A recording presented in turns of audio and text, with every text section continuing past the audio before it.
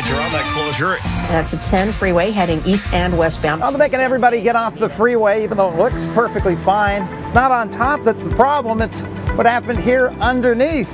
Somebody started a fire here last weekend. You've seen it on the news. Apparently, they were storing junk underneath the freeway. Junk! What's the deal with that?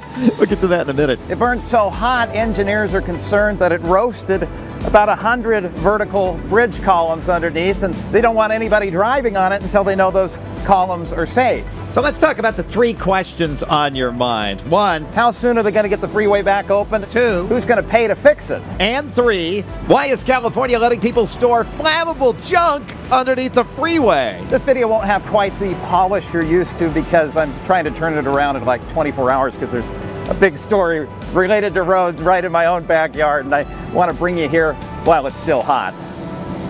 The, the story, not the, not the fire. Traveling through a downtown on a skyway feels just as satisfying as riding in a monorail that you get to control until they have problems. You have a dense downtown grid and a lot of small streets, and when you put the freeway through, rather than close many of those streets off, you just build a giant bridge, take the freeway up in the air on hundreds of columns and fly over the top of the city. You see these kinds of skyways all over the country. Even smaller places like Wichita, Kansas, or another one I've seen here in Medford, Oregon, downtown Las Vegas, and you probably remember this one in Atlanta, Georgia, where the Department of Transportation stored polyethylene tubing underneath the freeway viaduct, which ended up being a mistake. And what happened in Atlanta is sort of what happened here in Los Angeles.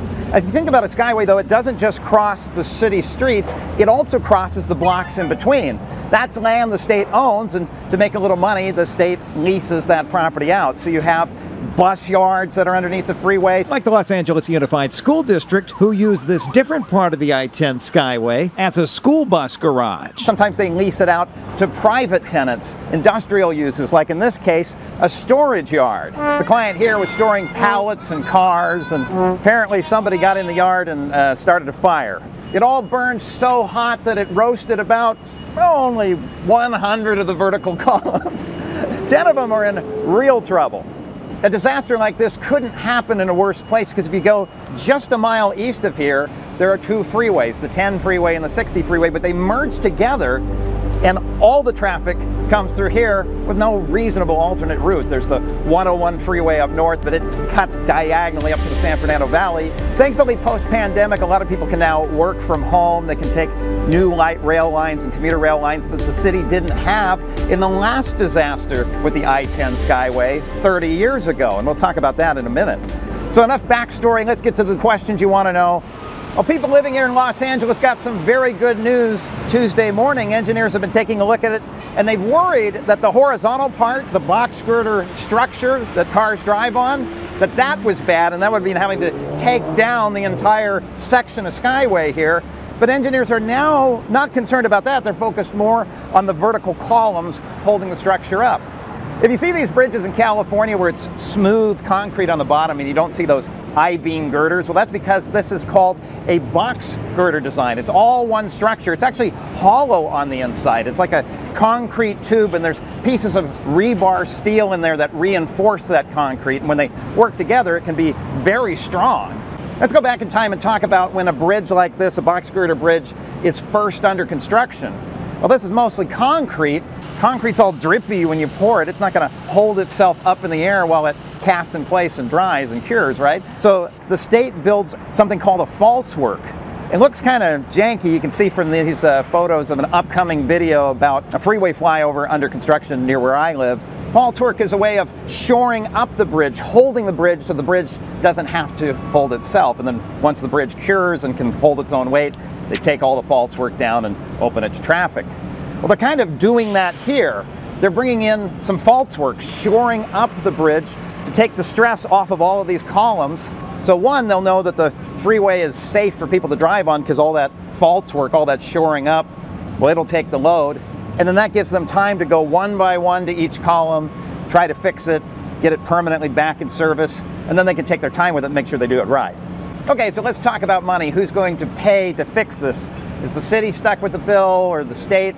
It's sounding like the Federal Highway Administration may pick up 100% of it if it meets a few conditions. This is called an Emergency Relief Program, ER. And if you look at FHWA's documents here, they have a list of what some of those qualifications are. So let's see if it meets it. Number one, it has to be a disaster. It can't just be, oh, the bridge is getting old. It's, an, it's a disaster. So yeah, that should qualify. Number two, it has to be on a federal aid road. So if a big mudslide or landslide comes and wipes out your neighborhood street, the feds aren't going to pay for that. That's not interstate commerce, you know, business between states that the federal government would be interested in funding. But a roadway that literally wears the badge interstate highway well, yeah, that's going to qualify for federal aid. And finally, qualification number three, there has to be at least $5,000 worth of damage. I think we're going to be all right on that one. All of this seems to qualify. So there's a good chance the federal government will pick up 100% if they get all the work done in 180 very short days. Otherwise, the federal government only pays for part of the repair. And that's the key, and that's why this is going to happen very quickly. Now, California has a reputation nationally of being slow, but actually the state has a lot of practice dealing with stuff like this.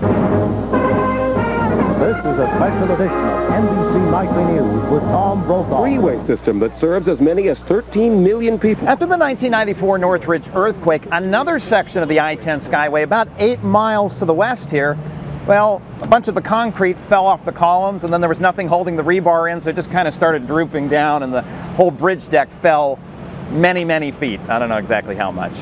What the state of California did is they worked with the contractor to say, look, we got to get it done in under 180 days. You quote us a date less than that, and for every day faster than that, we'll give you $200,000 a day if you get it done early.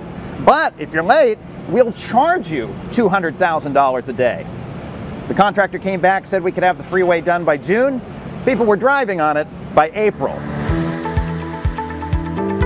leasing vacant land underneath California's freeways is a business practice that goes back to the 1980s and really it was a brainchild in the 1970s. That's when a casino outside of Reno, Nevada started renting the space under I-80 for a bakery and storage facility. The collaboration of a private property owner, Nevada DOT, and Federal Highway called an airspace lease. California went wild with these during the 80s, leasing space under a freeway interchange for an entire shopping center, which honestly is good use of limited space, right? And it could be big money for the state. After California canceled the 2 freeway through Hollywood, this land in the middle of the 101 freeway had no purpose. So the state leased the airspace to the storage unit company for $14,000 a month. Not something the state takes lightly. This airspace contract was for 55 years.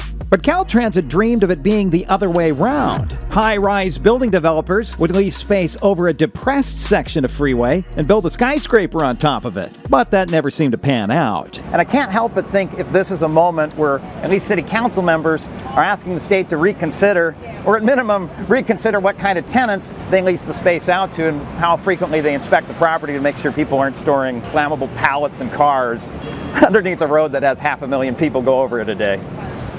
Well, with all those people, federal deadlines for the money on the line, and California having practice dealing with this kind of a disaster, I'm willing to bet you'll see traffic on this freeway probably faster than three weeks from now. And as for it being completely finished, if I were a betting man, I'd say February 1st, but uh, I guess we'll have to wait and see.